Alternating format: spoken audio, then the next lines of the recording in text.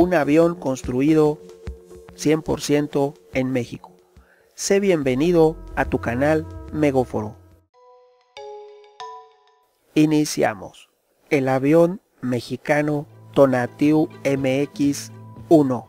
Buenos días amigos. Hoy les voy a hablar de un maravilloso diseño y proyecto mexicano, desarrollado por la Secretaría de Marina y por el Instituto Politécnico Nacional.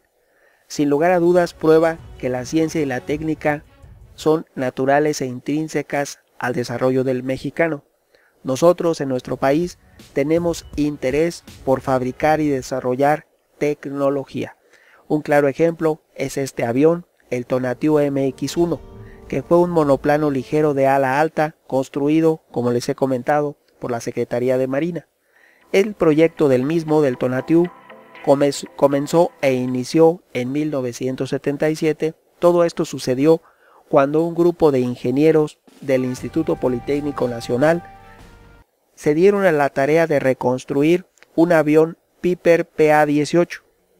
Cuando vieron que estaba muy dañado y que pues no era tan complicada esa tecnología, era muy fácil de entender para los ingenieros mexicanos, tras largas reuniones, convocatorias y con la aprobación del director del Instituto Politécnico, se decidió que lo mejor para impulsar la ciencia y la técnica mexicana era tratar de diseñar como un reto una aeronave mexicana, la cual efectivamente sí diseñaron y sí desarrollaron. Inicialmente se llamó Proyecto CIAC 7701, de tal manera que los trabajos de diseño y cálculo se trabajaron bajo el nombre de Proyecto Tonatiu. En las oficinas de la Dirección General de Reparaciones y Construcciones Navales, el entonces eh, designado por la Secretaría de Marina para asesorar la construcción del primer prototipo, quien, bajo las órdenes de quien se elaboró el primer prototipo, fue del ingeniero César Trujillo. Te diré que inicialmente estos trabajos se realizaron en 1978 fue un año después de que se propuso el proyecto. Cuando se trató de reconstruir el avión Piper PA fue en 1977. Se propuso el proyecto, se aprobó y participaron todos los científicos del Politécnico y ya se inició en 1978 los trabajos para efectuar el mismo, el Tonatiu. Esto sucedió en la estación aeronaval del Aeropuerto Internacional de la Ciudad de México. Aquí vamos a aclarar al ser ellos mismos parte del gobierno mexicano, tenían posibilidad de contar con los hangares que poseía el gobierno en el Aeropuerto Internacional de la Ciudad de México, el cual es y constituye una ubicación magnífica para poder obtener refacciones, insumos, incluso para su venta o distribución. Estar ubicado en el lugar de mayor movimiento aéreo de la República Mexicana fue magnífico en el caso del proyecto Tonatiu. El Tonatiu MX, te diré, que basa su diseño casi por completo también en el avión agrícola Bárcenas B-01. Varios aviones diseñados y desarrollados en México se basaron en el avión diseñado en la ciudad de Uruapan, Michoacán, el Bárcenas B-01. El Tonatiuh MX-1 no fue la excepción. Te diré que este comparte componentes y diseño tales como el perfil alar, las vigas, las costillas y los tensores con el Bárcenas. La sección de ala fue diseñada para las necesidades del Tonatiuh y muchos de los componentes metálicos eran fabricados por la empresa mexicana Cuprum, quien también hacía componentes para el Bárcenas B01. Aquí no es algo para criticar, es algo para entender y comprender que en México teníamos todas las posibilidades para fabricar desde cero un avión competitivo a nivel internacional, porque no estamos hablando de uno solo, estamos hablando del avión Bárcenas B-01 en el cual se basaron otros aviones mexicanos como el Asachac y este el Tonatiuh MX-1.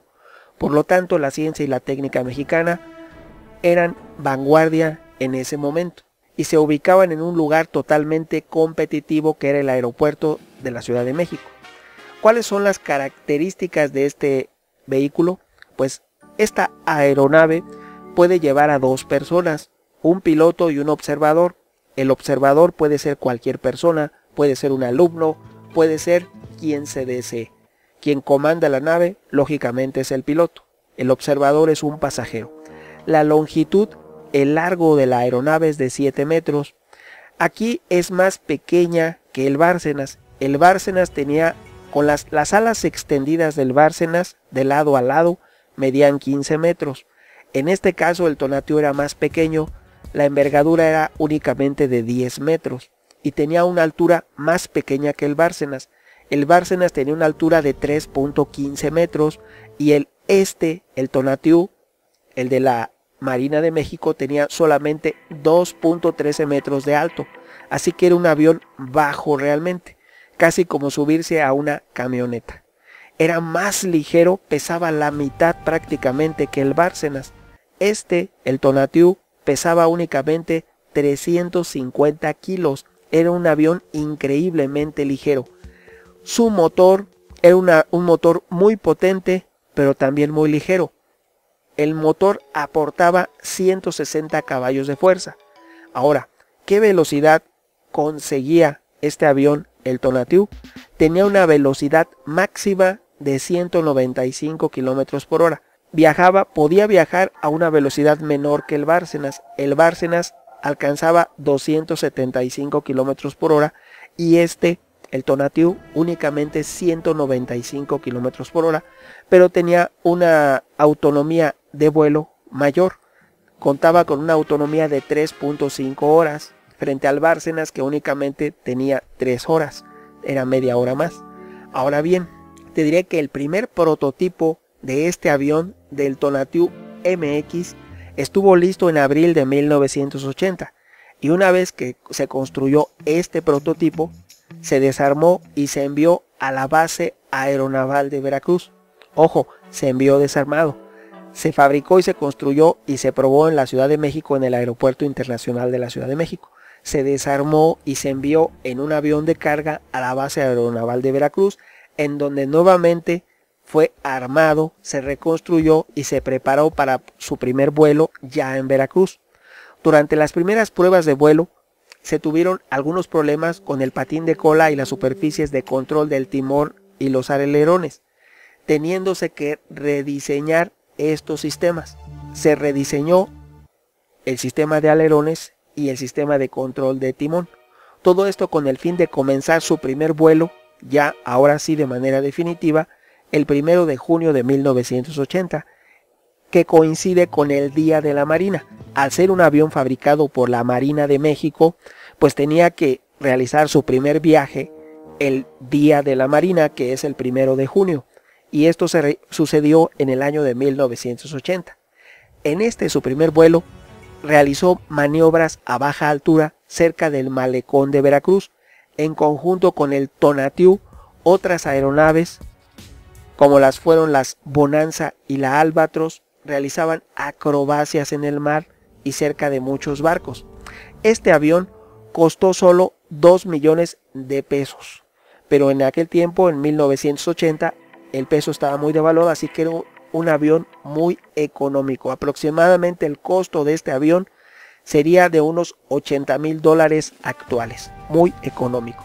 Lo, actualmente un avión de fumigación se vende en un millón de dólares aproximados. Este avión tenía un costo de 80 mil dólares, era uno muy muy económico. Ahora bien, lo cual se afirma en el desarrollo de este avión fue un éxito, pues un avión ligero de estas características similares en Estados Unidos se vendía y costaba 21 veces más. Esto es, no se permitió la fabricación del Tonatiuh en México, así como del Bárcenas, del Asachac y algunos otros, porque eran aviones muy baratos, muy competitivos y no le convenía a empresas de otros países. Si estamos hablando que en Estados Unidos se vendían 21 veces más caro un avión con las mismas características, pues ahora entendemos el por qué tenía tanto en contra este avión mexicano Tonatiuh MX1. Su reducido precio era y se pensó una amenaza en el mundo entero. Por lo tanto, no se dejó prosperar la ciencia y la tecnología mexicana.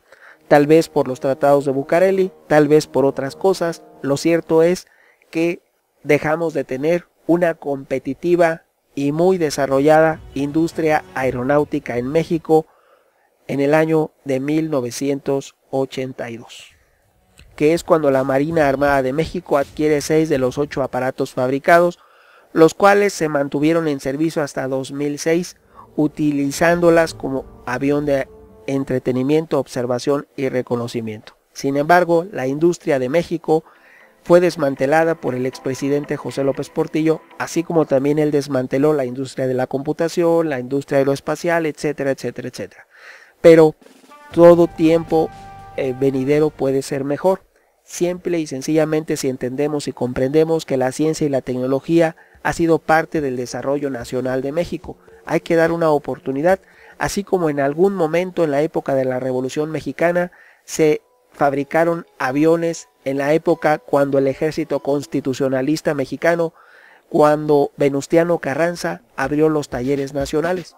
Si en aquel tiempo a nivel mundial fuimos pioneros y fabricamos aviones, nuevamente esa inventiva del mexicano puede germinar y catapultarnos a una modernidad deseada. Opiniones habrá muchas. ¿Tú qué piensas? Tu amigo Megóforo hasta pronto.